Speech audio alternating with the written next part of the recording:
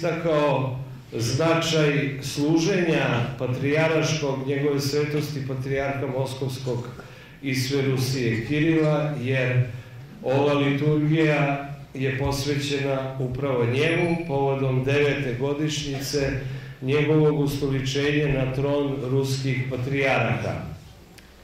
I u znak naše uboge molitvene podrške za svako dobro, za zdravlje i spasenje svih duhovnih čeda svetitelja Save Srpskog, dozvolite mi da vam uručim u ime Svetonoće Ruske pravoslavne crkve jedan molitveni i skromni dar, to je obraz presvete Bogorodice Vladimirske u kojem je sadržana prijemstvenost, što mi kažemo crkvenim jezikom, odnosno duhovno nasleđe od apostolskih vremena preko Svete Bizantije i iz Vizantije je donešena u, na samom početku 12. veka ova ikona presvete Bogorodice Vladimirske koja je sveštena u gradu Vladimiru bila u to vreme i od tog momenta je postala veliki zaštitnik ruskog pravoslavnog naroda i obzirom na mesto gde se nalazila, to je Uspenska crkva u gradu Vladimiru, od 12. veka ovaj prikaz presvete Bogorodice se naziva Vladimirska presveta Bogorodica.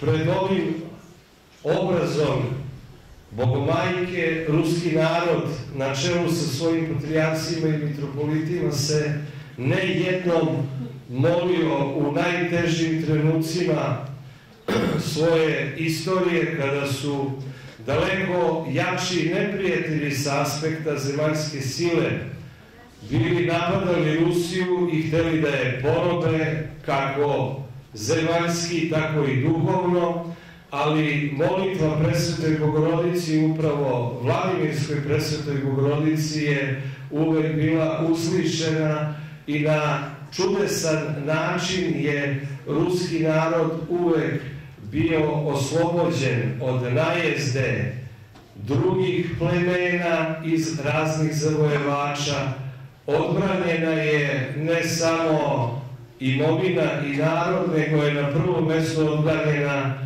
pravoslavna vera. Iz tog razloga ruski narod poštuje, poštujući presvetu Bogorodicu, kako nam nalaže učenje pravoslavne crkve, posebnu pažnju obraćamo negovanju tradicije i molitve pred obrazom Božije majke koju nazivamo Vladimirskom. I u znak zahvalnosti na današnju liturgiju, na vašu beskrvnu žrtvu koju ste primali za zdravlje i spasenje njegove svetosti patrijarka Kirila i za sve nas, dozvolite mi da vam uručim ovu presvetu ikonu sa željom da vas ona u svim situacijama na kojima nailazite kao predstojatelji patrijar srpski uvek čuva od svakoga zla, uspešno odbrani i preko vas verni narod da uvek dobija i blagoslov i blagodat Božiju. Amin. Živjeli vaše svetosti na mnogoja i blagaja ljeta. Святейшему и высокодостойнейшему Господину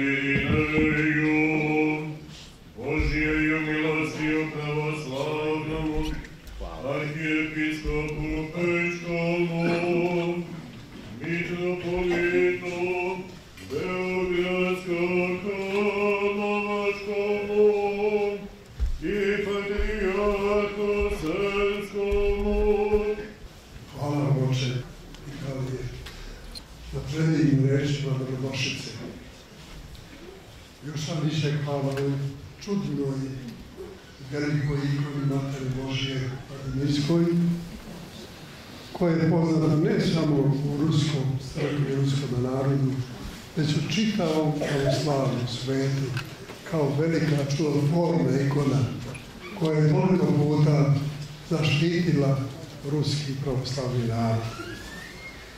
Neka njeni sveti molitvama i dalje štiti ruski pravoslavni narod, naš narod srpski i sam pravoslavni narod. Njoj su upućene mnogobrojne oči, oči srca i duše, jer pravoslavni narod osjeća iz njena silu i blagodat svetih ikona, već kojima je među prvima ikona Majke Božje Odinjerske. Mi se nalazimo, draga braćo i sestre, ovim svetim danima koji nas polako uvode u dane velikoga i časnoga posta, a veliki čas i post nas uvodi u najveću istinu naše vere, u najveću radost naše vere u Hristovo vaskrsenje. Danas smo čuli evanđelju o bludnom sinu, kako Gospod prihvata pokajnike. Mi smo svi grešni narod. Grešimo svakodnevno i svakotrenutno. Ali mora da znamo da postoji neko koji nas voli i ljubi i onda kada duboko padamo u slabosti ljudske, ima neko koji nas je tada miluje i voli i očekuje da mu se vratimo kao sinovi njegovi, kao narod njegov. Zato je ovo evanđelje za nas veoma važno da znamo da Bog ne prezire grešnike, nego ih ljubi i raduje se svakome onoga koji se pokaje i odustane od svojeg grešnog puta i Bogu se vrati.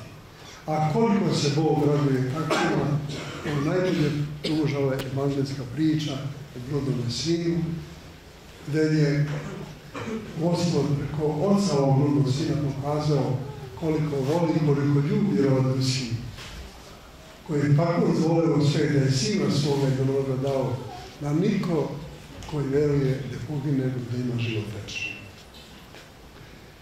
I danas imamo jedan poseban, radostan događaj da proslavimo zajedno sa Ruskom crkvom i ruskim narodom devet godina od kako patrijarh Kirilo se nalazi na čelu Ruske pravoslavne crkve. Njegov izbor je izbor i delo Duha Svetoga. Čovjek kakav je trebao ruskom narodu, koji se budio i dizao iz svoga pakla. I ovaj mudri čovjek je učinio ono što samo Gospod mogu da poželi, a sigurno me Duh Sveti stavio u srce i dušu šta treba da čini. I za relativno kratko vreme vaskrsla je Rusija. Vaskrsla je Ruska pravoslavna crkva. I danas je ona vodeća crkva u pravoslavnom svijetu. I znamo kakav značaj ima Carigrad, Aleksandrija, Antiohija, Jerusalim, te drevne crkve i divimo se njihovoj ulozi u prošlost. I podražavamo i danas kada nisu u tom stanju i tom položaju, nego se bore s mnogim iskušenjima. I svi se molimo za njih da nadvladaju te sve moguće zle sile koje dolaze znamo preko koga i od koga. I zato mi poštujemo sve te velike drevne crkve. Ali je istina da je Ruska crkva danas vodeća pravoslavna crkva. Trebalo je biti prošle godine u Moskvi, u crkvi obnovljenoj i vidjeti tu svetu liturgiju koja je vršena u hramu. Preko 450 episkopa u ornatima na svetoj liturgiji sa brojnim i brojnim narodom pravoslavnim. To me se morao spati zadiviti, ali ne samo u hramu, nego svemu onome što se dešava izvan hramova. I vidjeti koliko je crkava obnovljeno. Oni crkva koje su bili urušene i ponižene, obesvećene. Sve je to ruski narod svojim suzama, svojim molitvama i svojim darovima obnovio i ne samo obnovio stare, nego i podiže nove. Samo Bog zna koliko se danas u Rusiji, svetoj Rusiji podiže crkava i manastira obnavlja. Zato se divimo i ponosimo mi Srbi, koji za svoje, ne samo prijatelje, nego za i svoj narod, i kao što reče otac Vitalije, ni svoj verom, i istorijom, i kulturom, i krvlju, jedan narod. Sa ovoga svetoga mesa molimo se Gospodu da ovom velikom jerarku crkve pravoslavne da zdravlje i duh život ne samo radi ruskog naroda, nego radi celoga pravoslavlja. Ruska crkva danas predstavlja kao rekao pravoslavlje i hvala Bogu što je to tako.